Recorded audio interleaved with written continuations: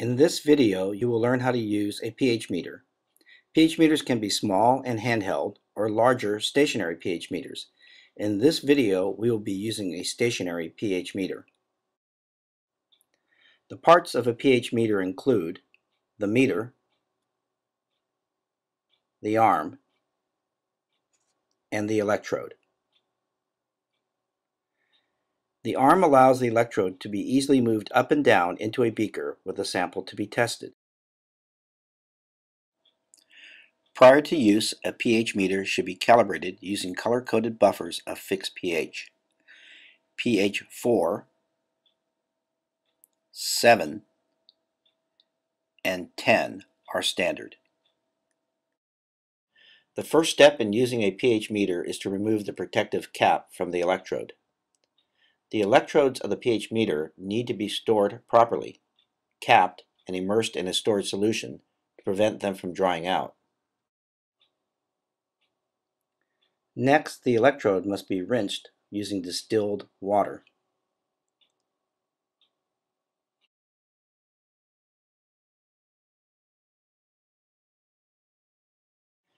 Various pH meters will have different procedures for calibration. To calibrate your pH meter, you will need to review the owner's manual for the proper procedure. Begin the process of calibration using the standard with a pH of 7.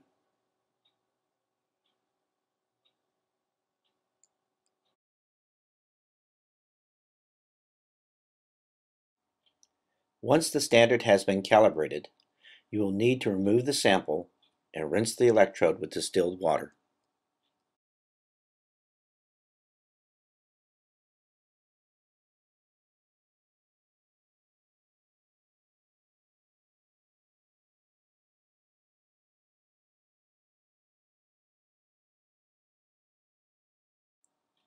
Repeat the process again, this time using the standard with a pH of 4.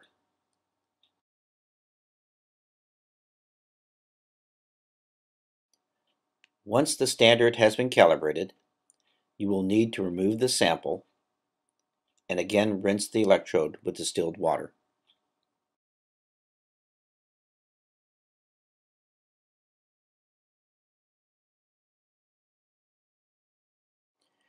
You will then calibrate the final standard with a pH of 10.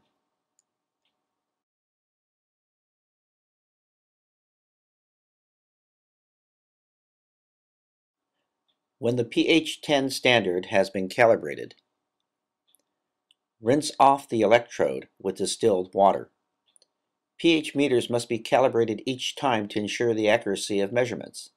Using the three different pH standards for calibration provides for a wide range of accuracy. You are now ready to measure the pH of an unknown solution.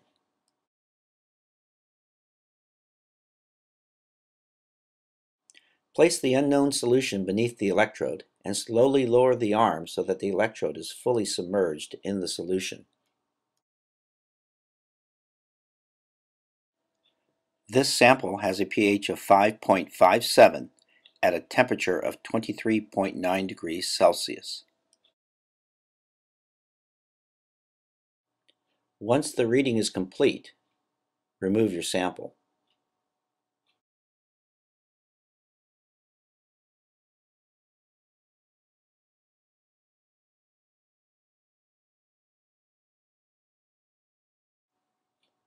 Once again, rinse the electrode with distilled water.